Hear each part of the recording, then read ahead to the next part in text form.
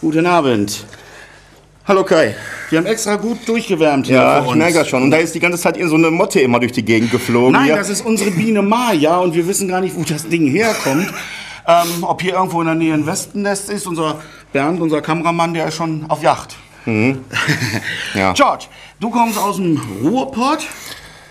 ja, man hat's gehört, ne? Ja, und äh, ist das eigentlich auch so ein Schlagerhochburg? Ist es ja. Ist es dann auch eine Country-Hochburg? Ja, ich würde sagen, wo haben wir noch eine, eine Country-Hochburg überhaupt? Außer vielleicht in Amerika, aber na gut, man, äh, man versucht's halt. Man hat äh, die Liebe zur Country-Music. Ich mache das jetzt nicht, weil ich meine, es gibt nicht so viele Country-Sänger wie Schlagersänger.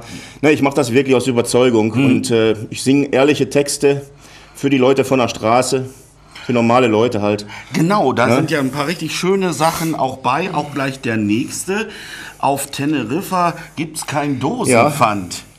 Das ist auch, du schreibst selber, ne? Ich habe alle Titel, die heute hier in der Sendung von mir vorkommen, die habe ich alle auch selbst geschrieben. Ja. Wie kommt man drauf?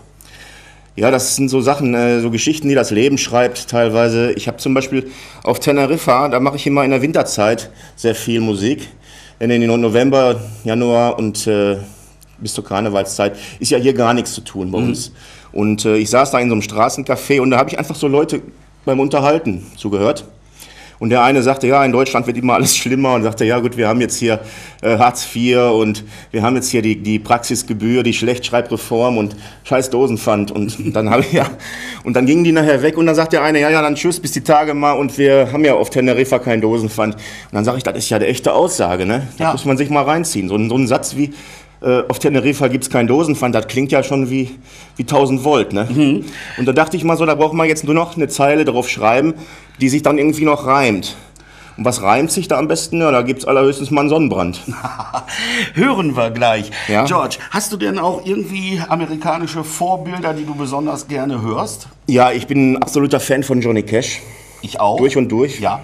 Und äh, man merkt es an den einen oder anderen Song, dass da mal so ein kleines bisschen Boom Chicka Boom auch mal drin vorkommt. Mhm. Ne? Bist du auch schon mal drüben gewesen?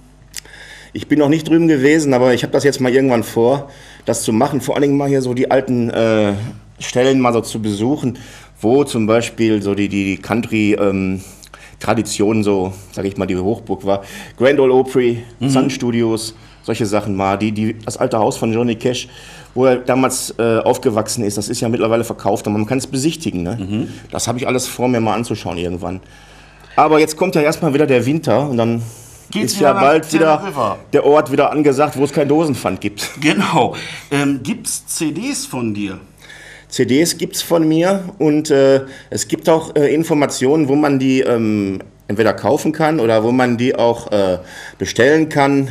Kann man auf meiner Homepage auch mal nachgucken. Sag das doch wäre äh, dann unter, schaut mal einfach rein und schreibt mir was Nettes ins Gästebuch, wenn ihr Lust habt. Also ich freue mich über jeden netten Eintrag, ja. Da und äh, die äh, Homepage-Adresse lautet www.country-george.de. Prima. Und wie gesagt, ruhig was Liebes ins Gästebuch schreiben. Ja. Und da kann man dann auch sehen, äh, dass man die CDs bekommen kann von dir. Ja, das gibt einige ähm, Shops. Ne? Das ist ja mittlerweile auch sehr, sehr schwierig, an CDs dran zu kommen. Also von, von äh, deutschsprachigen Künstlern, die nicht wirklich jeden Tag auf WDR 4 gespielt werden. Ne? Und das, da- dazu zählen ja wirklich auch so, sage ich mal, alle Leute, die heute hier sind. Ne? Das- Das, das kann man so sagen. Ja. Es gibt jetzt einen Sampler, den kann man tatsächlich bei Saturn kaufen und bei Mediamarkt und bei den ganzen großen Plattenhändlern. Ähm, diesen DA-Sampler Mhm. Ruhrpottschlager, da ist zum Beispiel ein Song von mir drauf.